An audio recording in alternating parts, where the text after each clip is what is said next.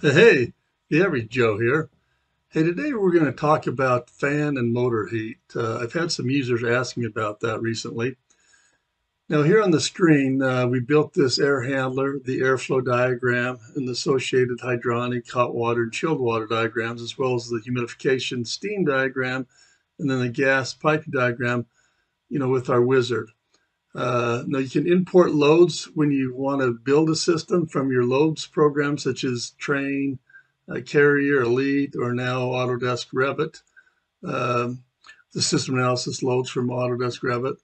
Or you can just input that data, but this is the data that we bring in from a loads program. Um, location, obviously outside air temperatures, all the system and zone structure, areas, number of people, temperatures, uh, CFM, uh, things of that nature, heat loss. Now, if you've modeled in your loads the temperature gain from the motor, I'm going to go here and click on the fan. We go to summer cooling. So each fan has fan heat, right? That's generated because of the fan, the size of the fan, the amount of air it's moving, plus the motor heat when you've modeled your loads, if you've modeled that in your loads program, you want to make sure that's checked here. You'll notice that's 1.8 degrees uh, Fahrenheit and half a degree there.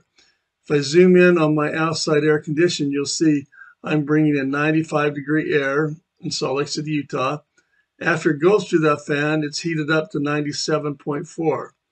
That temperature difference is those uh, what's that, 2.3 degrees F. So if you've modeled it in your load, you also want to model it here. Uh, and then that's why that coil sees 97 instead of the 95. Now for heating conditions, you'll see the outside air is 14 degrees, 14 seeing the heating coil. Typically we don't go in on uh, winter heating and add any motor heat or fan heat. If you did, you'll see then now I only have to heat from 15.8 to 86. So the heating coil is going to be a little bit uh, less. So uh, typically engineers don't want to, uh, they just want that extra safety factor. So they typically don't apply those in that uh, application. Anyway, so that's just, uh, I've had questions asking me about, hey, why is, why is there different temperatures, you know, as it goes through the fan there, and that's all from fan and motor heat. That's based on the size of fan that we do calculations on, as well as the size of the motor. We, we know that from CFM, the 8000 CFM.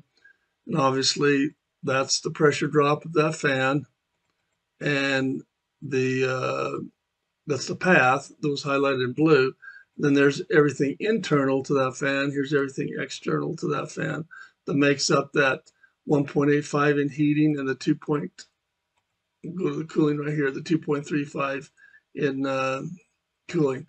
We look at both airflows on on systems, you know, and uh, static pressure in both cases. So hope this has been helpful uh, in uh, looking at that fan and motor heat, and then also using the, the air handler wizard to just answer questions and build. This was a humidification system with a Condair humidifier, uh, generation of steam to steam from a steam boiler, uh, created just in a couple minutes by answering questions uh, using your load data.